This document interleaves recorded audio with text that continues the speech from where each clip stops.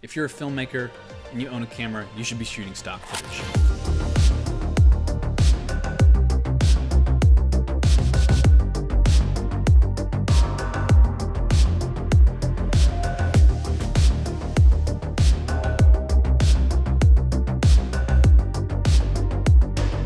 What is up guys, Max here, and welcome back to another video. Now in today's video, we're talking about, in my opinion, the easiest way to make money with filmmaking.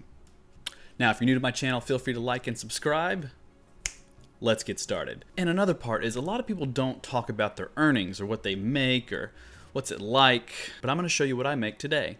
Okay, so this will probably not cover your full-time job but I have never been in a conversation with anyone who I said, Would you like an extra $500 a month just for a little bit of work and just let it sit and you just collect 500 bucks a month forever? And there's no conversation where they don't go, Yeah, of course I'll take that. Ugh, coffee. Now, a lot of people are hands off. They're full time filmmakers and they won't sell stock footage. That's totally fine. And a lot of people will say, Well, I don't have a good enough camera. I can't sell stock footage. Yes, you can. Um, if you own a camera, if you're a filmmaker, I'm assuming you own a camera. Most of us do. Um, and with today's digital technology, cameras are getting smaller and they're getting cheaper. You should be uploading stock footage because it is the easiest way to make a little bit of extra income for your really expensive hobby. Yeah, I mean, these things aren't cheap. They're getting cheaper, but they're not cheap. So I have four sites pulled up right now. We have uh, Shutterstock, Adobe Stock, Pond5, and Storyblocks, also known as VideoBlocks. Did I say four? I meant five sites. And uh, VideoHive.net. Now, um, these are the five sites that I constantly upload to. We will talk about two other sites later on called uh, Film Supply and Black Box, which I don't use as much. This has been my hobby for, I want to say, like the past two years, where I've just been uploading stock footage, um, just anything I could get my hands on. I, I mean, I'm always going somewhere. We're always filming. And I mean, the easiest example of stock footage that I've uploaded is one time we went to the grocery store and bought a bunch of vegetables, as you can see here on screen. And um, while they were being cooked for dinner that we ate, um, I filmed uh, the cooking and we I turned it into stock footage. There's a sale here, there's a sale here, and I made like 250 bucks in one night because somebody must have needed B-roll footage of cooking for some show. And just like that, I made money. It's not a full-time income. It's not gonna replace what I do full-time. Um, could it? Sure, if you did it enough. But for me, it's supplementary income, and it, it has been the easiest way to make money. Um, it's even easier than making money on YouTube by monetizing your videos. I do okay on YouTube. It's definitely not a full-time income, but with YouTube's new restrictions nowadays, you need a lot of content just to start earning a little bit of money. Um, now, stock footage, what's really great is it's not hard to get your portfolios approved and you can start uploading today. But you may say, Max, all I have is a DSLR, um, something simple. I don't know if the video footage that it produces can match the 4K quality that you know something like the Blackmagic production camera or GH5 or Sony cameras can do nowadays. No problem. All you have to do is upload pictures. Most DSLRs take really nice pictures, and there's no reason you can't upload pictures of stock footage. The easiest example of uploading pictures is using the Contributor app by um, Shutterstock.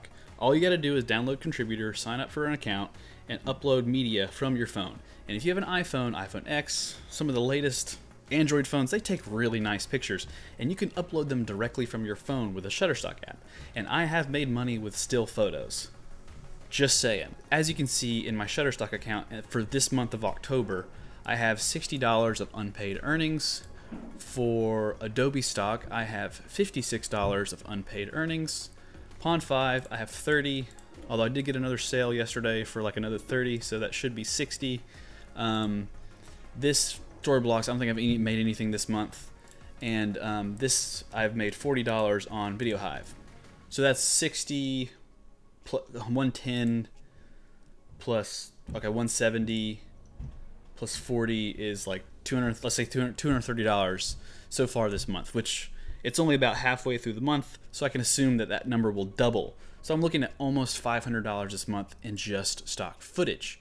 That's awesome. Oh my god, that's that's a good bit of money. That's that's like the cost of half half the cost of a lens, you know, something like that. Wow. And you know, only thing you got to worry about this stuff is just remember to do your taxes at the end of the year. Now, I recently invested in a better production camera back there for things like this, also more filmmaking stuff on the side that I run my business with and my other, you know, other production job. But stock footage is just one of the easiest things to do the majority of my stock footage has been filmed in my apartment.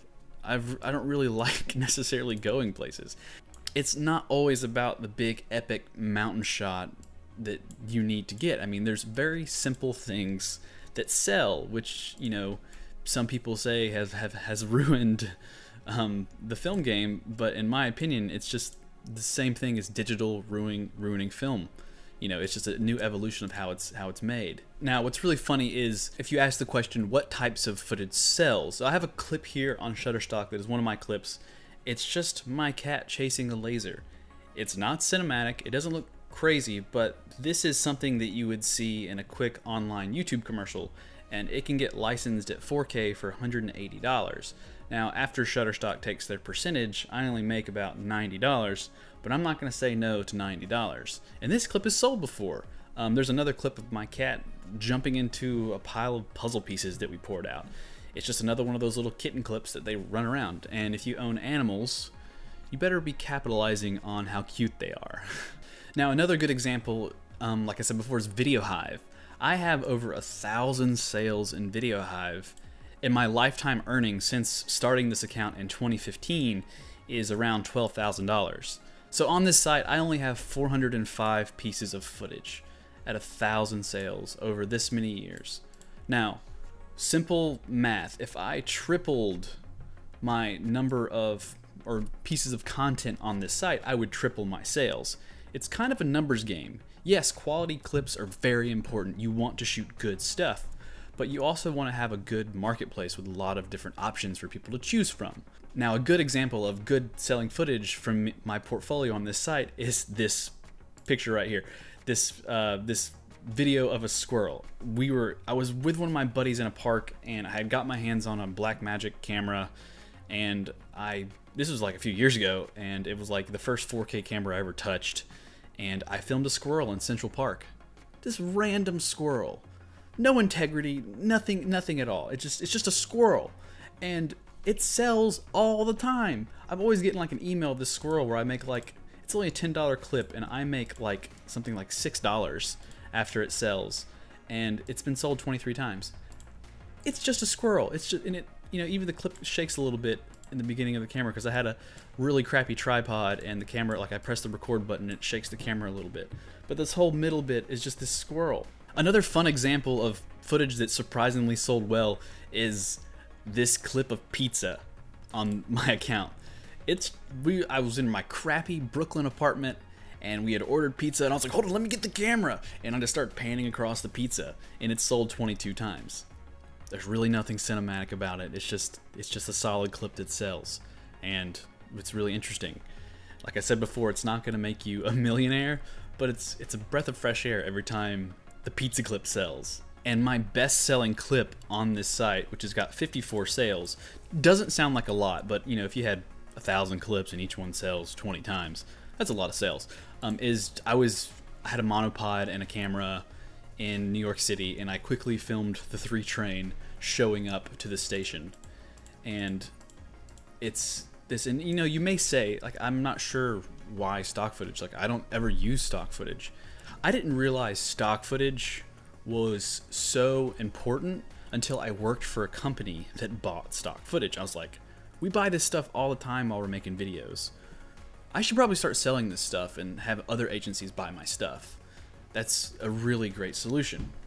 Now, I did have a filmmaking conversation with one of my good friends, very respectable guy, but he was like, "I'm not into selling footage. I'm I really don't want to sell my stuff. It's my artistic work. It's close to me." which I completely understand. That makes total sense. It's your work. You don't want anybody else to touch it. You know, people ask me, do I want to rent my camera out? I'm like, I don't know. It's I don't really want to rent it. It's kind of mine. But two things. To create films, you need to create a stable income that allows you to continue doing it, or you can put, you know, max out your credit cards like we know some famous directors have done in the past, which is not a terrible thing, and you can get the work done that way. Um, but at the same time, I just showed you a clip of a squirrel. This squirrel means nothing. It's just a squirrel. I hold no cinematic integrity towards this clip. Sure, there's going to be stuff that I filmed that I don't want to sell, but this, this right here don't matter. It's just a squirrel doing squirrel stuff. Now, I want to talk about filmmakers that you see online that you may not expect selling stock footage. I'm sure you've been on YouTube and you've probably seen this video right here. It's called Fire and Ice.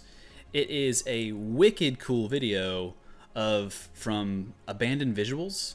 This is a great YouTube channel. Check these guys out. They don't have a huge following, but they have some really good videos. And they're like shot on helium 8K red cameras beautiful and it's like a really cool commercial. I'll leave a link in the description where you can watch this video and a link to their channel because they have other cool videos. I'll tell you something that you don't know. See, as you can see here, here's another one of their videos of them going through the redwood forest. It's beautiful. If you watch this video on a color correct 8K monitor, it looks or 4K monitor, it looks great. But look at this clip right here. Let me stop it. This clip, they filmed that but they also sell that. So let me show you Film Supply. Film Supply is another great stock footage site that I am not a member or contributor to, and uh, they have some great filmmakers on this site that make a lot of good content. And at the very top of their filmmaker list is Abandoned Visuals. If you jump in, you can already see that pretty much the majority of Abandoned Visuals videos from YouTube are being sold as stock footage online. Um, they make these great videos and they slice up pieces of their video as stock footage and they sell it because it's filmed on some really high quality cinema cameras and why aren't they going to sell that? So I just showed you that Lambo video, the fire and ice video, the one I was talking about right here. Lambo car. Um, and here it is on the, the, the, the film supply, the Italian sports car page, where tons of the clips from that YouTube video are being sold as stock. Now, if we go in and click on this clip, uh, if you're the, one of the clients buying it, I work for a church. Uh, we're going to go on internal digital web, size of the organization, 500 people, license $200. Abandoned visuals can make a quick buck. This church can use a cool Lambo shot for some church video. I'm not sure why they'd want that, but they're going to use it. And just like that. Um, yeah, so if you're very close to your footage, Believe me, there are some wicked good filmmakers out there selling stock footage. Another site that I want to talk about is blackbox.com. Now, I've just signed up for this site. It's brand new. What's really cool about this site is that you can upload stock footage, and once you upload it here, it auto distributes to Shutterstock, Adobe Stock, Pond5, and VideoBlocks for you, the four that I already use. So you upload in one place, this site takes a small percentage, and it just puts your footage on four different sites to get more views. Now, once you upload footage to this site, you cannot upload it to anywhere else. It's a licensing thing. If you put footage on Blackbox, you only put it there, nowhere else. But what's really unique about Blackbox, let's say that you're a local New York person watching this video. I'm also a local New York person. You reach out to me, say, hey Max, I'd love to shoot with you sometime. I go, sure man, I love shooting with new people. And we go shoot some footage together and make this really cool stock library. We can upload our footage to Blackbox and we can split the revenue. So I make 50% of the footage and you make 50% of the footage. We both earn 50% of the earnings with, you know, Blackbox and the other companies taking their percentage out before we get our earnings. They take their cut, whatever, but we still make money and or you know that's really cool. You can do revenue sharing with somebody else. Or if you hire a model and say hey i don't have the money to pay you to shoot um, but if i'm to put the footage on Blackbox and i'm going to give you 25% of the earnings to be the model in this footage. And that's a great way to get somebody paid without having to pull money out of your own pocket. So there's a cool system built inside of this on doing that. I'm not going to go over it today.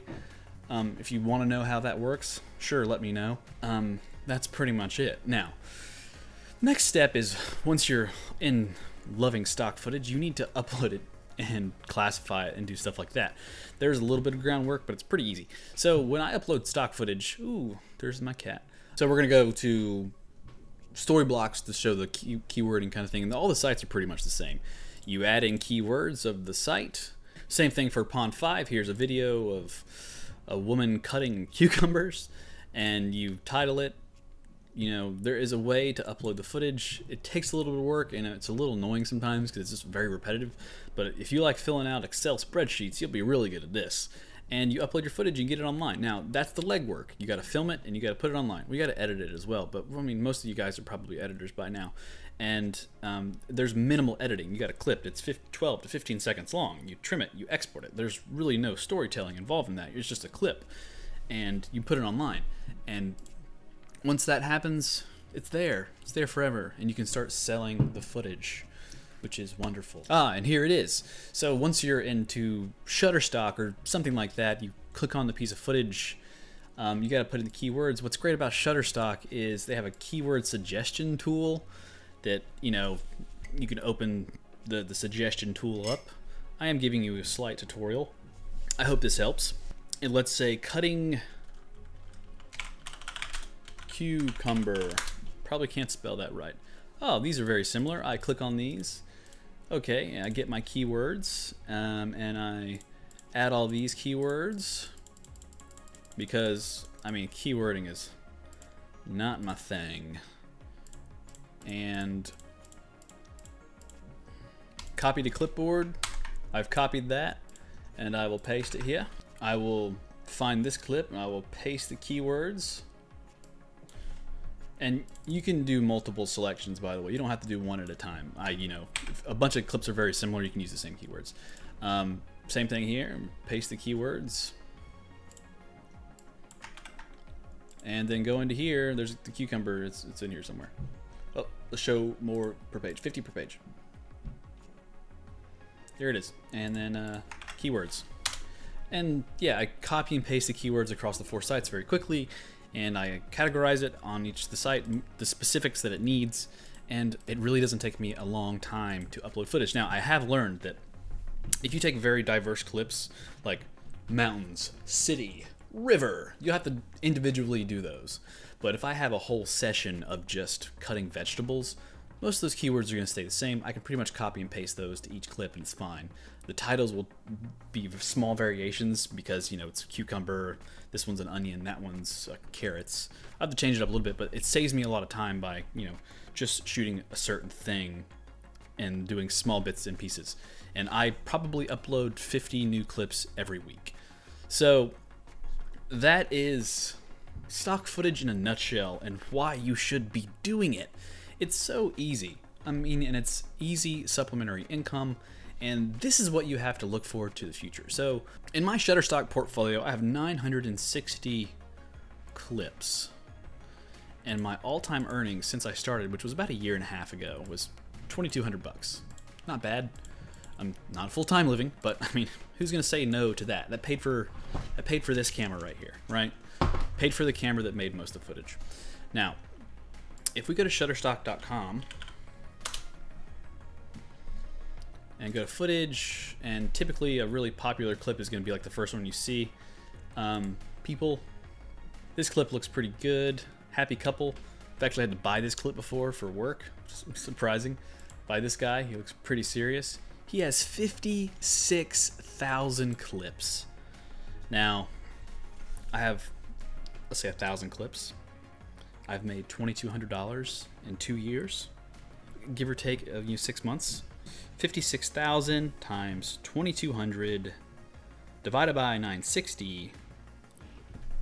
So, if I would have had 56,000 clips online, according to the money that I've made with the number of clips that I have online for my Shutterstock account, if I would have had 56,000 clips online in the past two years, I would have made $128,000 that's when stock footage becomes full time. When you have a lot of clips online. And that was it. That's that's stock footage in a nutshell, guys. I mean, I don't know really what else to say. Is if you have a camera, you should be shooting stock footage. Whether it be stills, anything, you don't need a really fancy red camera. I just got this thing. I haven't had it that long since I posted this video. And the majority of my stock footage was shot on DSLRs.